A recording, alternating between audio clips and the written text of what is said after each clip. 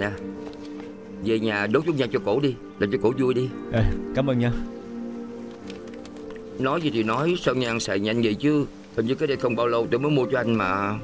Trong nhà vẫn còn Nhưng tôi thấy tay của cổ Vết bớt của cổ lại xuất hiện nữa. Tôi sợ cổ không khỏe cho nên mua sẵn. Vết bớt đó màu gì vậy? Màu đậm hơn trước. Không phải chứ. Không phải chứ cái gì Nè kìa coi. Lần trước anh tới nhà tôi Anh kêu tôi cố gắng coi chừng cổ.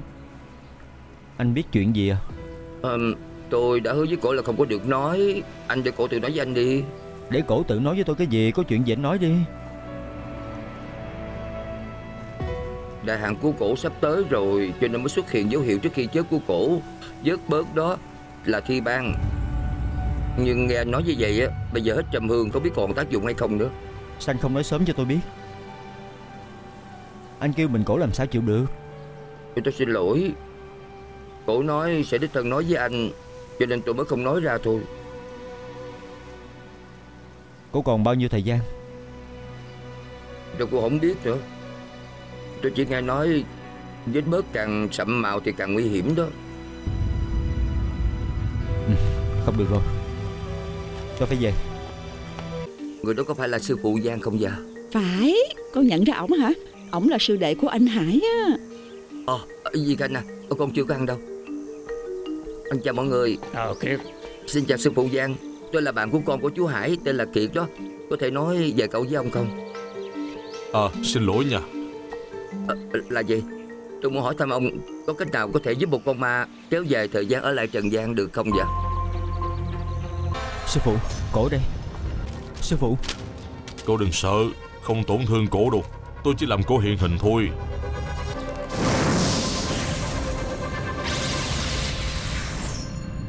Dân Liễu Phương. Sư phụ à, cổ không khỏe Ông có thể coi giùm không? Lấy ly nước cho tôi.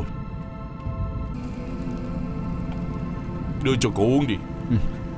Cô uống trước đi. Lúc nãy tình trạng cô tệ lắm. Sư phụ này là Giang Chí Cường ở đoàn kịch Mà lần trước tôi nói với cô đó Tức là sư phụ Giang Hạo Vũ. Anh ở đoàn kịch Diệt Tú sao? Tôi là Cường đây. Cô có nhớ tôi không? Sư đệ của Phương Tuyết Hải. Cô cảm thấy sao rồi? Đầu của tôi còn nhức lắm. Sao lại vậy chứ sư phụ? Với lại tay của cổ xuất hiện nhiều vết bớt Ông có thể coi không?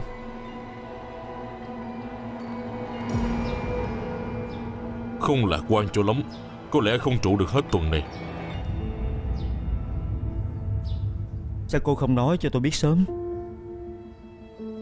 Tôi sợ anh lo lắng thôi. Sư phụ Giang Chẳng phải ông có cách có thể giúp cổ ở lại Trần gian lâu hơn sao? Sư phụ à Ông có thể giúp tôi không? Tôi không cần trụ lâu quá. Chỉ cần qua mùng 1 tháng 8 là được. Không phải không có cách. Nhưng tôi không dám đảm bảo có thể trụ được bao lâu Kéo được ngày nào thì hay ngày đó. Được rồi. Tôi sẽ làm thử Bây giờ tôi bày bắt đầu thất tinh trận cho cô. Hãy nhớ Tuyệt đối không được để bảy cây đèn cày bị tắt. Cô phải ở lại trong trận Có thể bổ sung tinh lực Trì hoãn đại nạn. Cách này không thể trục mạng vô thời hạn. Còn chuyện có thể kéo dài được bao lâu Còn tùy duyên số của cô. Cảm ơn ông. Cổ đỡ nhiều rồi. Bây giờ đang ngủ. Nói cho cậu biết Bây giờ tình trạng của cổ rất nghiêm trọng. Nhớ đó. Kêu cổ lại trong trận cố gắng nghỉ ngơi. Cảm ơn sư phụ hey, Nếu là người khác Bao nhiêu tiền tôi cũng không nhận. Niệm tình tôi với dân Liễu Phương từng quen biết Tôi mới giúp cổ thôi. Năm xưa ở trấn Tam Cương Sau khi diễn xong tuần kịch với cổ Bấy lâu không thấy cổ. Không ngờ bây giờ gặp lại Thì âm dương cách biệt rồi. Sư phụ Giang ông lợi hại lắm. Lúc nãy đúng lá bùa liền có thể đánh thức cổ dậy Nè Ở đây có một sắp bùa nguyên khí. Cái này giống như thuốc trợ tim của con người. Khi cổ có chuyện gì Thì đốt bùa cho cổ. Như vậy sẽ đỡ nghe Cảm ơn. Nè Tôi với cổ thì là chỗ quen biết Bạn lâu năm thôi. Hai người không thân thích với cổ. Tại sao lại giúp cổ chứ? Tôi đã vô tình mở rương đồ ra Thả cổ ra ngoài. Sau đó trở thành bạn cùng nhà. Tôi thường đi bắt ma Cô không có phát hiện Khó khăn lắm mới gặp được cổ. Cổ hiền lành lắm Còn giúp đồng kịch chúng tôi Cho nên chúng tôi muốn giúp cổ. Cô gái này Cô muốn kéo dài tới mùng 1 tháng 8 Cổ muốn mượn tuần kịch Nhập hồn mẫn mẫn dụ khúc hành dân ra. Tôi không biết làm sao nói với anh Đông. Nè Tôi đã gặp rất nhiều linh thể. Tất cả họ đều vì chưa hoàn thành tâm nguyện Nên mới ở lại trần gian. Nếu cậu có thể giúp cổ hoàn thành tâm nguyện Kịp lúc đầu thai Thì không tới nỗi hồn tiêu phách lạc. Tôi cũng biết. Cho dù anh Đông không chịu nói với Mẫn Mẫn cũng được. Mẫn Mẫn chưa từng gặp Liễu Phương Tôi sợ làm cổ giật mình. Cô còn nhớ là cô từng nằm mơ Trong giấc mơ của người dạy cô hát không? Tôi nhớ chứ. Cô tên là Dân Liễu Phương. Cô hy vọng có thể nhập hồn cô Diễn một tuần kịch trong lễ thiên nghi Gặp lại người yêu cũ. Nhưng mà tại sao lại là tôi? Không phải ai cũng có thể nhập hồn Bởi vì cô từng vô giấc mơ của cô Coi như có duyên với cô. Tôi nghĩ vấn đề không lớn. Nhưng mà Tôi cũng không giấu cô. Dân Liễu Phương không còn thời gian nữa. Tuần kịch này có thể là cơ hội cuối cùng Trước khi cổ hồn tiêu phách lạc. Thật ra tôi cũng không nên nhúng tay vào chuyện này. Nhưng tôi và cổ coi như cũng từng quen biết.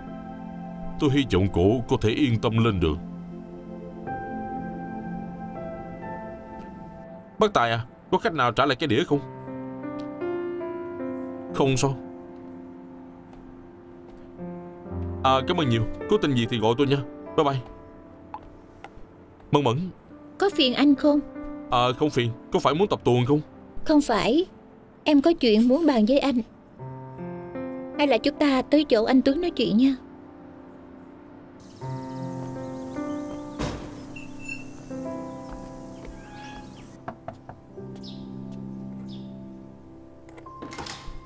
Chào.